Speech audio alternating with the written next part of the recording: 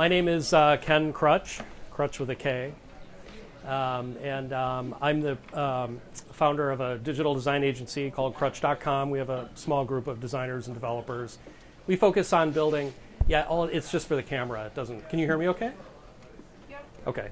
Um, we focus on building uh, commercial applications. We sort of stay away from things like dating apps and whatnot, and we do things in healthcare. Uh, we have a lot of experience doing enterprise storage and networking and stuff like that. So we have kind of a specialized practice that way. And what I want to talk about today is what I call everywhere UX. And this is sort of somewhat a presentation for people who are not UX practitioners. Who in here is a UX practitioner? Awesome. That's good. Who in here is a software developer? You're the audience for this thing, okay? I spent a lot of years as a software developer and then moved into this area, and I still am constantly running into software teams that don't really get any help on the UX side, whether it's for budget, belief, whatever. Um, this presentation, to be honest with you, is developed to, to, to convince management teams like yours that you need some help. But if you can't get the help, here are some things that you guys can do to DIY it. Okay, so sounds like I have the right audience for this. All right, so I'm going to have a like a big pile of slides and I'm going to stand here and read every slide verbatim, one after another. Okay? And that's kind of what that meeting turns into. And I use that sort of dumb example as that people form expectations based on past experiences. If you take one thing away from this entire presentation, it's successful user experience design comes from understanding the mental model of the person that's going to use your product or service and getting them to that place as quickly as you possibly can with the principle of least astonishment, the fewest surprises. Don't build something that looks like a dating app and it's a finance app, right? You'll confuse your users, okay? I mean, you laugh, but we, we see apps all the time that you think, for example, is a banking app, and they've gotten a little too cute with it, you know, with like a little puppy dog and stuff like that. And it, it doesn't fit with the model that you have in your head of, hey, this is something serious. This is a banking app, and I want, it, I want this to look serious. Who can tell me what these objects are? I'm sorry, what? It's a good guess. Now, what are they? They're salt shakers. This is another example of fitting quickly into that mental model. You could take any two objects, I mean, uh, on Earth, and put them together and have one with maybe one hole and one with three or five holes, and everybody would go salt and pepper shakers. Which one's the salt shaker? Anyone? Which, whichever. Is this salt or pepper? Interesting. And that's most people think this is pepper? Yeah. So it you know what? I've discovered using a similar example to this over the years, it depends on where you're from, how you were raised, right? I was raised in a household where this was pepper and this was salt. Why? Because no one in my family used pepper. They just put tons of salt on everything and it comes out of here faster. Right? Anyway, it was a shock to me the first time I, I used this example and uh, someone said, no, no, no, you've got that wrong. And this is the cover to a book um, called Living with Complexity by Donald Norman. Who here has heard of Donald Norman?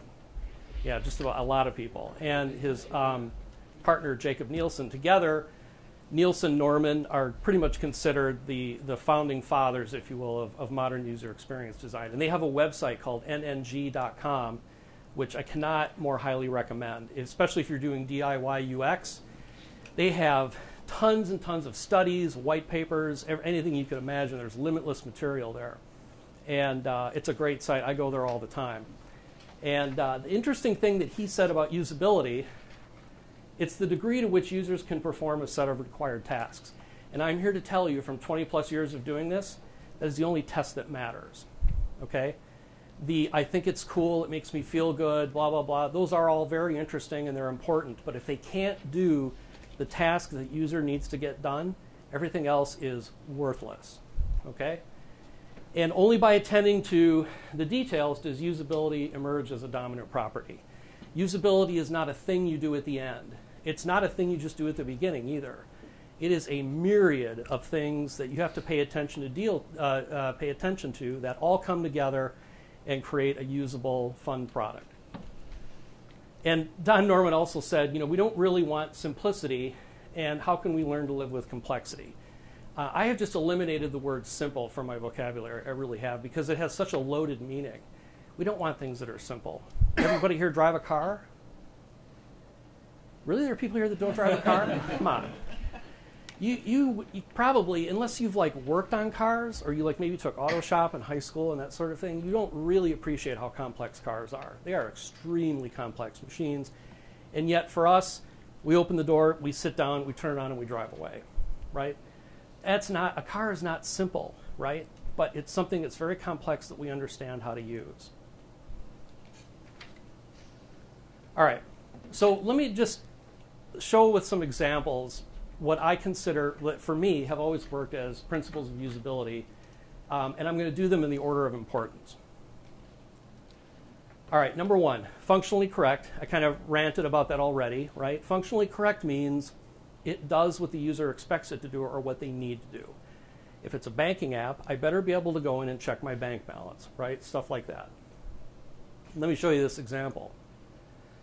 Um, here is a here is a, a conversation. It can be on Slack or Skype or whatever, and you're talking to someone, and you say, um, you know, can we meet tomorrow on Skype to discuss? Sure, I'm open all morning. Okay, how about 10 o'clock? Perfect. Talk to you later.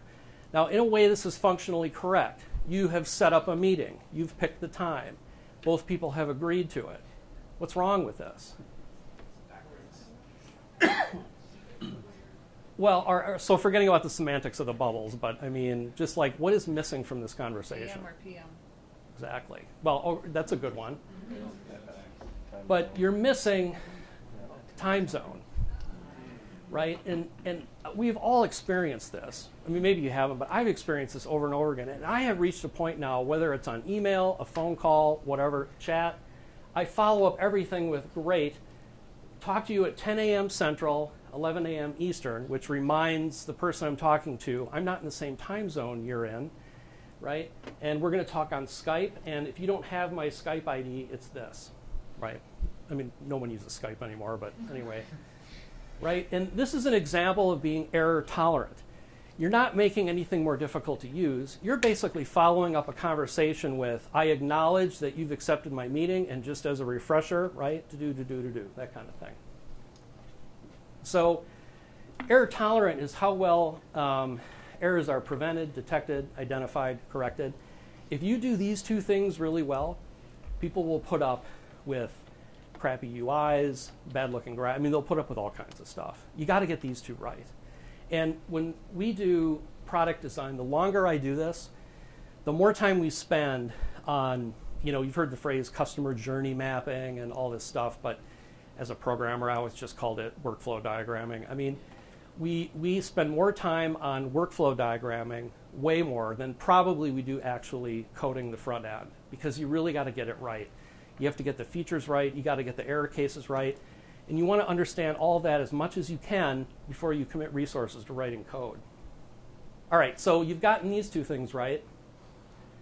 And then going back to our um, principles of usability, uh, the next three are what look like conflicting goals, right? Efficient to use, easy to learn, easy to remember. Those are like three axes in a 3D model, right? Um, easy to efficient to use. Let's say you work in a call center and you're taking 100 calls an hour and you're inputting in a little bit of data and moving on to the next call and the next call and the next call and the next call. And as someone that's done um, UX design for call centers, they don't even want to pick up their mouse. I'm telling you, they, they, they're sitting in front of a Windows PC with a big screen and they have their windows arranged so they can just alt tab in between them Alt Tab, type, type, Alt Tab, type, type, Enter. If they have to pick up their mouse, they get agitated. I mean, that's how fast they're moving through there. But that's not the same thing as easy to learn. Easy to learn, like an ATM. The first time you go to use an ATM, I mean, you probably don't really pay attention to it, but I mean, it will walk you through everything. Put in your card, enter your PIN, you know, da da da da da, right? That's an easy to learn system. And then easy to remember um, is a tough one. And easy to remember comes into play if you're building a complex app that maybe you only use once a month. Maybe only once a month you go into your bookkeeping system and generate invoices for your clients. And you're like, oh, how does that work again? Right? And if you feel like you have to relearn it from scratch every time you go into it, then you've kind of dropped the ball on that one. And you have to find out where your product or service fits on those three axes between efficient, easy, and uh, easy to learn and easy to remember. That's kind of the next challenge. And then the last one is the one that unfortunately people tend to associate more with user experience design than any of the other ones, which drives me crazy. Um, oh, sorry, I got, I got ahead of myself. So, an example on efficient to use. So, here's a slide. We've all seen slides like this one. I've spent a lot of time looking at this slide, and I honestly don't know what that slide is trying to tell me. It, it's a bunch of data, right? We've all seen slides like that. Hang on a second, I gotta.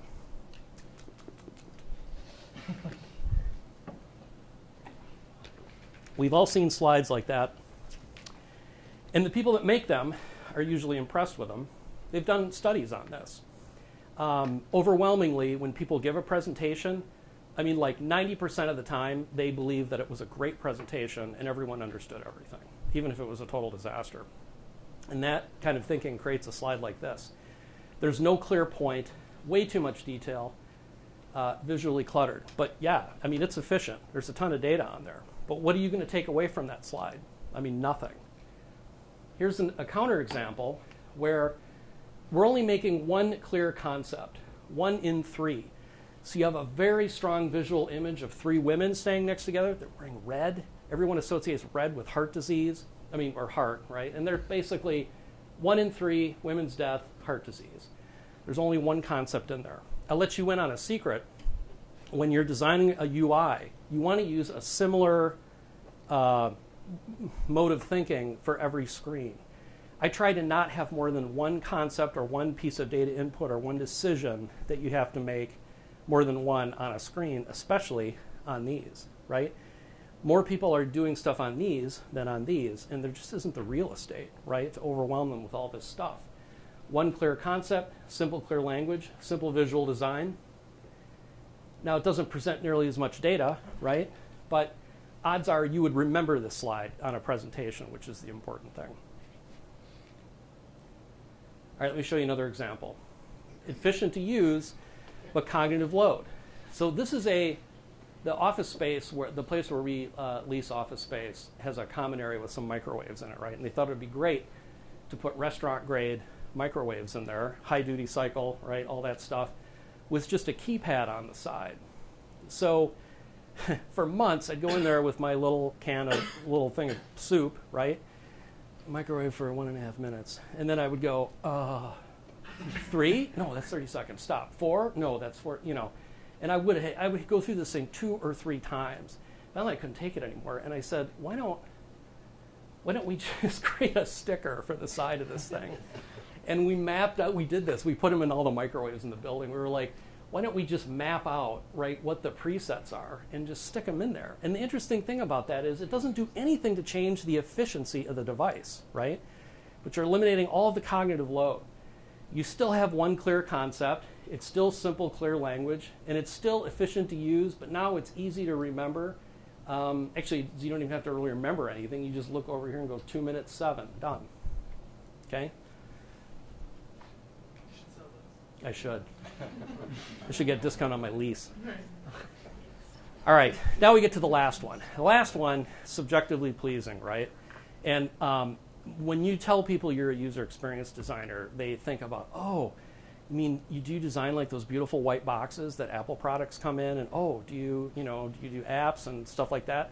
And most people do associate the design element with subjectively pleasing, how the audience feels about the content. And what aspects of it are subjective? Um, you have attention to aesthetics and detail, right? I call that it's clear, like we saw on the, uh, the heart disease slide.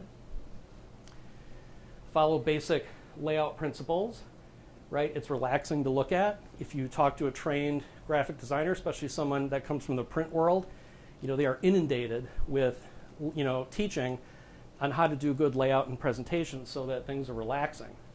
Responsiveness to user input, right? The user feels like they're in control. Uh, a gentleman this morning gave a fantastic presentation on tricks you can use um, in the UI in your apps to make them feel more responsive. That stuff matters. That stuff's good. But ultimately, at the end of the day, it is know your audience. Okay? You have to know your audience and meet your audience's expectations, even if what you're creating doesn't isn't something you personally like. You ready? Drudge Report. So this is one of the most heavily trafficked websites in the world. And this is an example of what we call brutalist design or brutalism. Brutalism is like a throwback to the mid 90s when web pages basically had a white background and someone just vomited a bunch of links onto it. But they, but they know their audience. I mean, it is literally, I think, the most trafficked website in the world right now. People go there and they look for, right? Oh, that's a bad guy. Oh, yeah, that's a bad guy. And then they, you know, they just start clicking on links, right? That's their audience. And the people who don't like Drudge, right? They don't like it for more than just the reason of the content that's on there.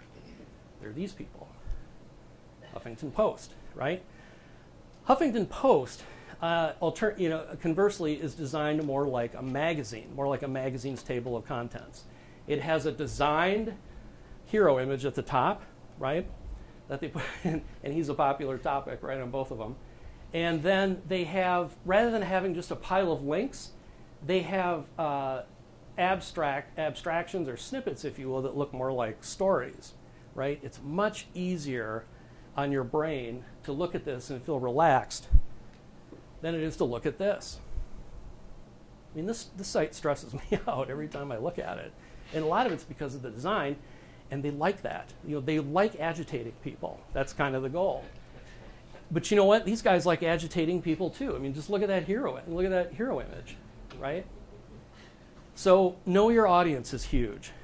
And, and I think Drudge Report is a proof of the fact that you could ignore all principles of design and still have a successful product if you know your audience and you design for that audience. Okay? All right. So I have two different ways we can go from here, um, but not really because the person, um, my coworker, normally she does the visual design stuff and she couldn't make it.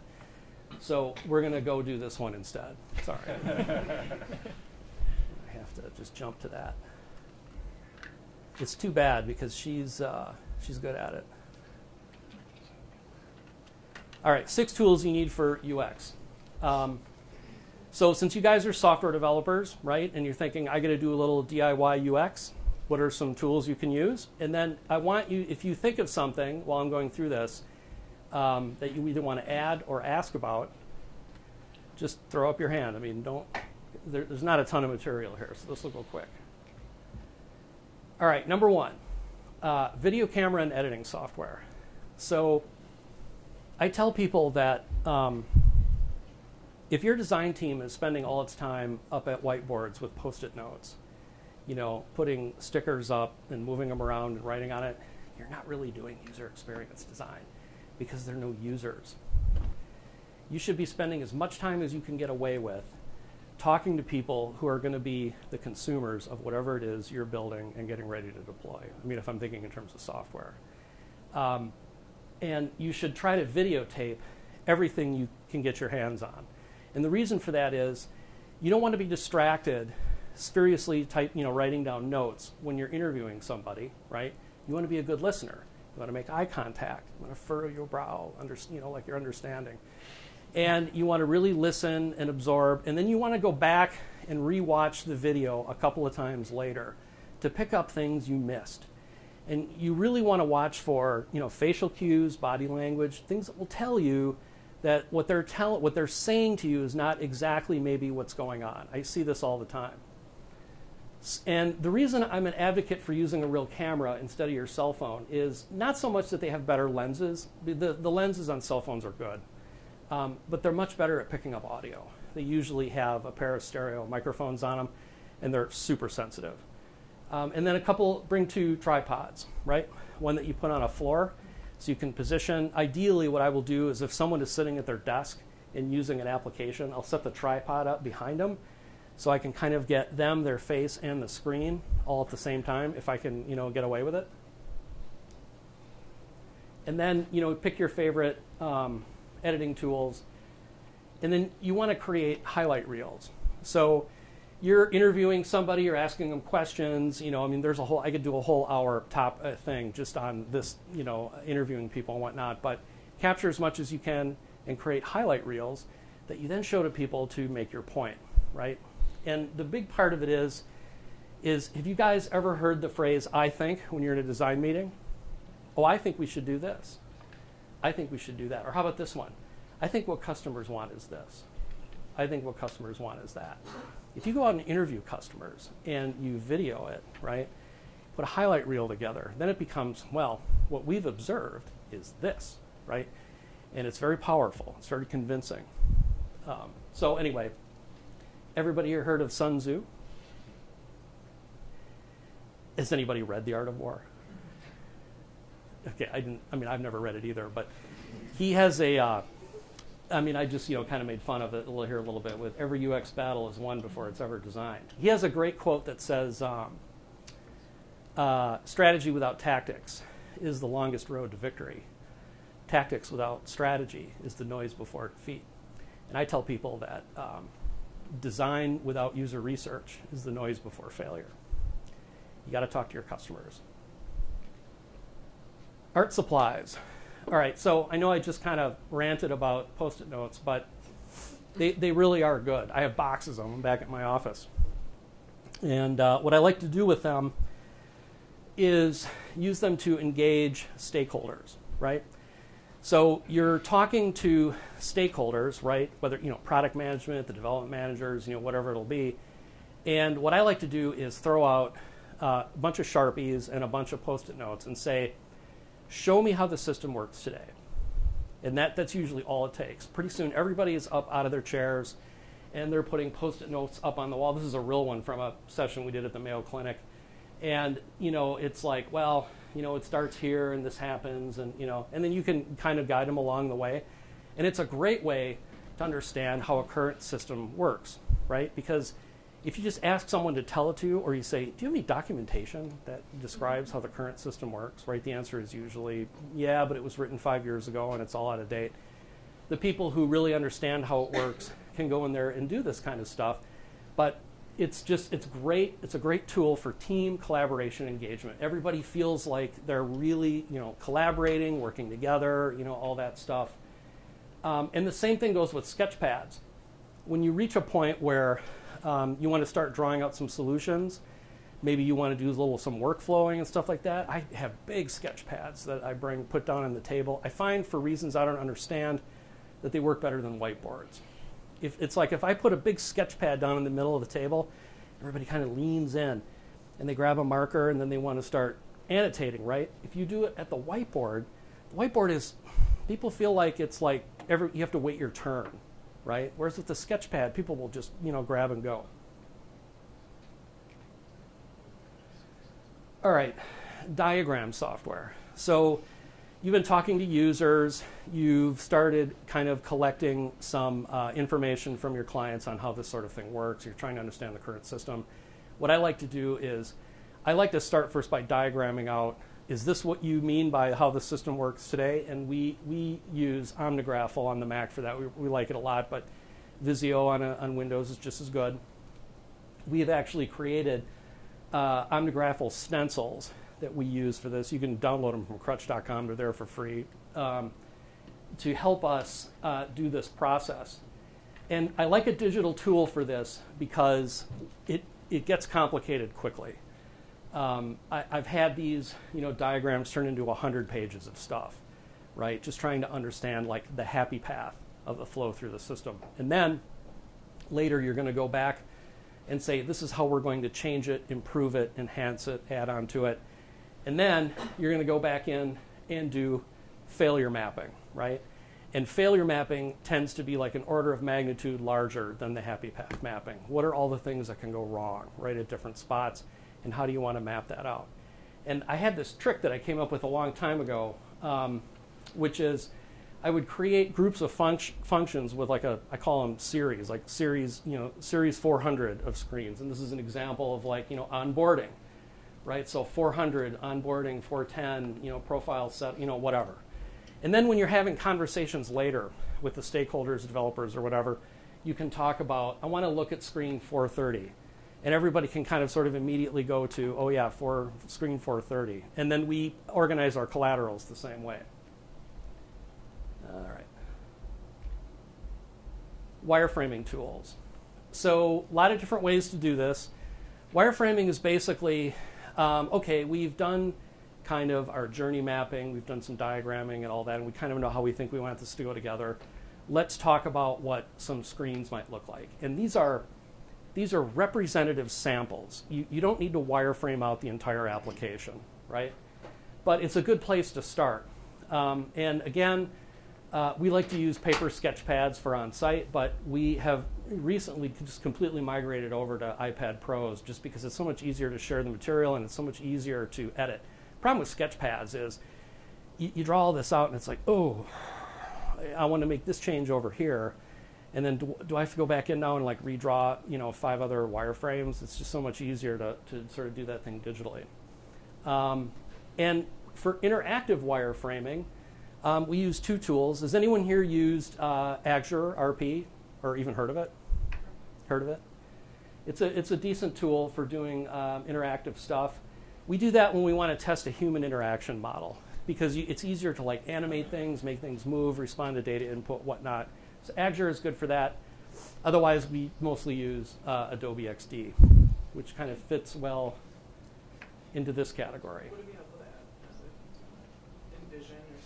Oh, lots of people use Sketch. It's a super low fidelity to right. right in the middle, and it's free. Right. Sketch is, I don't think Sketch is free. Not Sketch, I apologize. InVision? InVision, right. Push, yeah. You can use a lot of right. things to push to InVision. Right. But InVision's a good way to use it too. Yeah, I mean, I'll be honest with you. We sort of standardized on Adobe XD because we'd already have a, you already have a license for it, and it's like I don't want to pay for another thing. Totally. Yeah. But if you're like just doing it yourself, sometimes um, have a low budget. Not that I've ever been there, but Well, the lowest budget way, the lowest budget way that that we've done this is basically just using um, Evernote Sketch on an iPad. Yeah, that works actually pretty well. It's not bad. Um, and then, of course, Illustrator and Photoshop. And what you really are doing at this stage is you're you're providing a visual language, right? It's like let's just let's grab some representative example screens, right? I call it I call it core sampling. You, you've got this system or this application which is maybe pretty deep. Well, we're not going to sit down and draw storyboards for the whole app, right? We'd be here all year, but let's just take like a vertical core sample which goes from beginning to end of a particular happy path user experience and let's draw that out and see what that looks like and get feedback from end users like for an informal user test or from stakeholders. I find adobe xd works really well for that. Um, you can have all the different regions clickable and then they move to a different screen. It, what it doesn't handle is data entry. That's the sad part so if you're going to do something that uses a lot of data entry, then Axure works really, really well for that. And eventually, though, you'll have to do some drawing. So whether you use Illustrator or Photoshop, it kind of depends on people's preference. Um, bonus tool. So if you ha- has anybody here used 3M's visual attention software or even heard of it? Have you guys ever heard of eye tracking? 3M's VAS is an algorithmically driven eye tracking tool. You can take any image, load it up on their site, analyze it, and it will come back with a heat map. There's different versions of the heat map. They will show you where people's eyes are likely to go within the first five to 10 seconds. They will show you the order in which they will visually scan an image. And um, we use this now for everything. Pretty much everything we do, we run through heat mapping. And uh, we were always impressed with um, how small differences can have a big impact, right, in the page that you're designing. And real eye tracking is time consuming and expensive, right? You can get a piece of software and you can sit someone down in front of the laptop and the camera will monitor their eye movement and it'll produce something similar. But the problem is you have to get a fresh test subject every time, right? And I don't want to use those resources until we're close enough where we feel like we have something we're ready to deploy. Then I, I want to bring in real people and test it. While we're doing early exploration of the visual language, I just throw it up on VAS. It's like $49 a month. Find like anecdotally, does it match up pretty well to what you would normally do? Like when you're looking at that same image, do you find that it does a pretty good job of like correlating to where you look first and how long you spend on each part? For me, the, the, what I use, well, all right. So we've used it for different things. What, what I personally really like it for is if I'm building a UI and I want to make sure a con- like an actionable control Mm-hmm. doesn't disappear into the UI, I want to make sure that it's, it's a hot spot. Because I, I'm just here to tell you, I have done, I have done enough UI development and user testing to know that you don't really know how that's going to come out until someone sits down and you're just standing there like going, oh my God, just click it, right? and they don't see it. They just don't see it. And then you, you run it through uh, a heat map thing and, and, and it's ice cold. And it just, it does, it just works. So I don't do everything now goes through this just to make sure, you know, we want people to see these alerts. And it, it does, it, it drives our design. So in areas where we really want to call attention out. We make sure that you know it's it's a bold, actionable button surrounded by a lot of white space, and if necessary, you know, use an obnoxious color.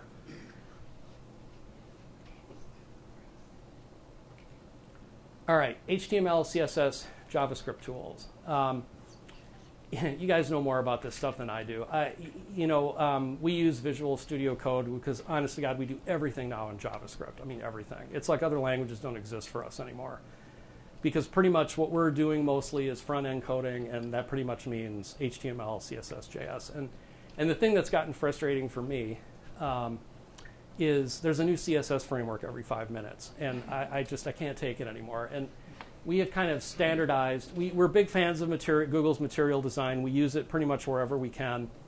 Um, and so there's a good CSS framework called Materialize that works with that, but most of the time we just use Bootstrap 4. I mean, it just kind of works. And then we'll use Angular 2, right, to connect into the back end and rinse and repeat. And we've also gotten really um, good at doing a lot of prototyping just by throwing together a quick node server on the back end with some canned data. But we've even stopped doing that, and we've started just doing everything with Lambda services on AWS because you can prototype that environment so quick, it's ridiculous. And then going live from that is like flipping a switch. And that's it. I see a lot of nodding heads. That's good. So bonus tool. Um, anybody here use Zeplin.io? Did it change your world? It it did. Pretty cool. In- I'm a front end guy, so Yeah, you're a front end guy. Exactly. that's cool. The magic of Zeppelin is this. In the old days, and by the old days I mean like two years ago, um, you would do a design, right? And you had two choices. One choice was the designer would just sit down with the developer and you know they'd start mocking up you know css stylings and build some sheets. Um, or you would take a bunch of static storyboards that you did with you know the previous tools photoshop illustrator whatever and you'd either throw them in InVision or put them on a hard drive or whatever right? And you give it to the development team and go here you go right? And then the first development iteration comes back and you go what is that? Right because it's like, well, a font's a font, right? Mm-hmm. Arial, Sofia Pro, what's the difference? Uh, red, green, blue, I don't know. I'm colorblind. Works for me. And so you, you, go, you go into this death spiral of the designer going, no, no, no, no, no. This needs to be you know, left aligned, uh, uh, uh, right? And it goes on and on and on. And then eventually you run out of time. And then you just have to throw up your hands and go, it is what it is. Great is the enemy of good. And the developers get frustrated, right? And everybody gets frustrated. All that went away with Zeplin, all of it, because Zeplin gives the developer the least path of resistance.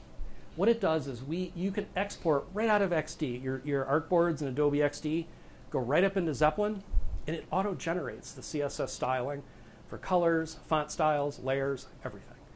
And all they do, they bring up their web browser And you, I know it's hard to see, but they, they've clicked on like a little icon here, and it, it just gives you the, the CSS for it. It will give you uh, SVG or PNG collaterals out of the whole thing. Remember the old days? You'd get a design and you'd get the email. Yeah, I don't have Photoshop, so I need those logos, and right? You don't do any of that anymore. Now they just go into Zeplin and they go click, click, click, click, copy, paste, copy, paste, copy, paste, right? Done. And since we have started using Zeplin, I mean, the designer developer iteration, you know, there is some of that still, right? Because, but in most cases, it's the interaction model isn't quite right or something's not working quite right. But we don't ever have to do iterations anymore on appearance, ever. It's just that's just that's gone. So really, I, I just can't recommend this tool more highly. Do you, do you see designers also starting to learn code a little bit? Like, there, like, like there's a crossover on both sides because it kind of helps translate the two? Yeah. So. When, when it's appropriate or whatever? There, there is this sort of um, this unicorn mythology of if only the designer could code, right? And they could just build the front end and it would look just right. But the problem with that is the reason I don't like, I mean, okay, that, that sounds bad. I, not, I don't like, but the reason I don't encourage that really on my team is I don't want the designers to worry about how hard something is to implement. If you're really designing for the end user, you're focused on delivering this, you know, this thing, which is precisely designed. And I know from my own experience of doing both the design and the implementation piece that I start immediately thinking about, oh, you know, what I really want to do is this, but I know that's going to be a lot of work. So, right? And I just, I'd rather, I would rather do it from a design standpoint the way we want to do it. And the other thing is, um, as a practical matter, it is getting so hard to keep up with design. Right? Design is changing. Well, I mean, the what like what sort of standards and practices are changing. Um, the design languages, right? Material and all you know all the other ones are constantly evolving, right? And you have to keep up with that stuff. That's time consuming. And then trying to keep up with everything that's going on with JavaScript and HTML and CSS. I just I don't know if one person I know I can't do I can't do it. I don't know if one person can really stay on top of all of that at the same time. That's just my my opinion.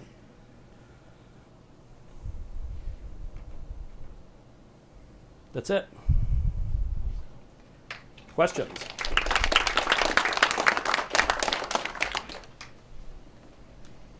No questions?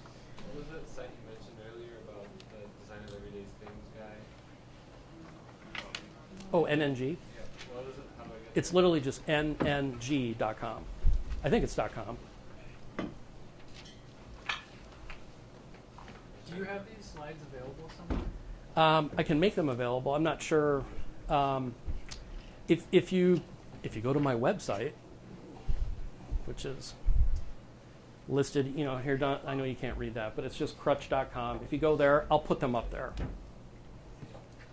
I'll just burn them off as a PDF or something and throw them on there. You can download them. Yeah. Yes. The toughest problem you've tried to solve yourself? The toughest problem. Uh, you mean like design problem? User problems.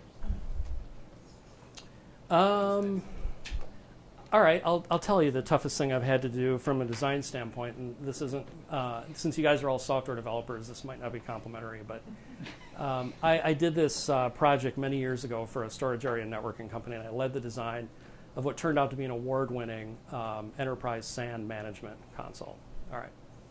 So when I started this project, the engineering team um, had a Swiss Army knife slash kitchen sink approach to the console.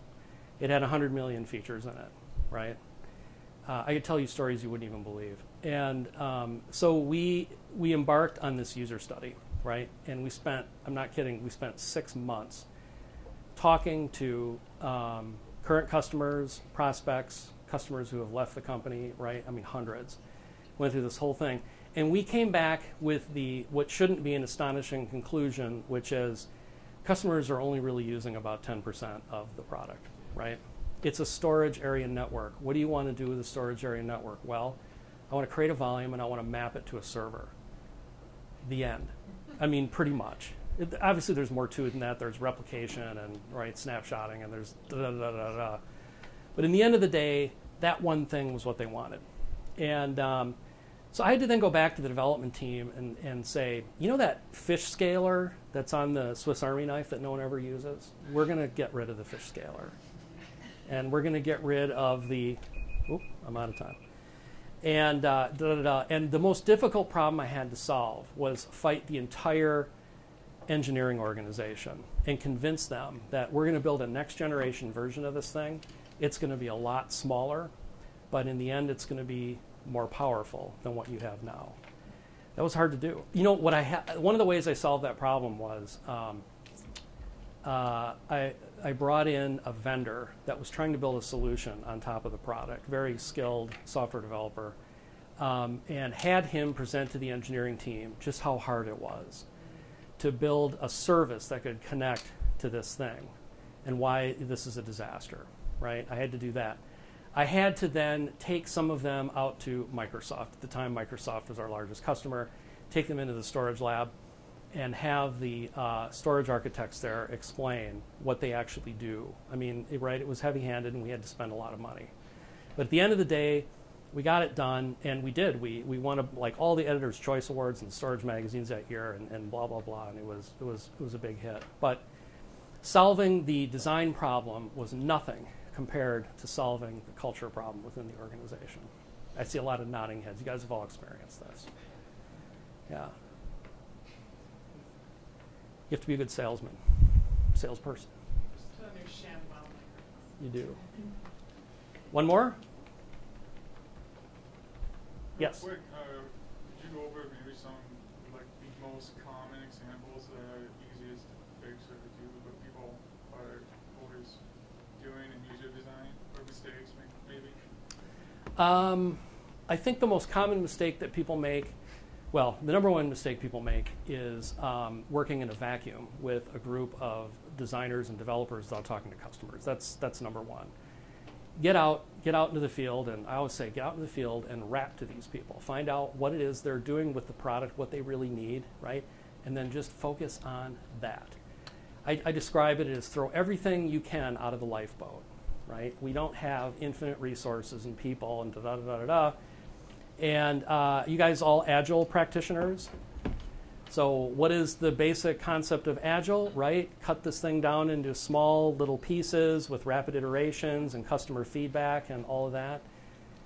Uh, I mean, yeah, that's it. I mean, getting people to, to just stop thinking about the fish scaler.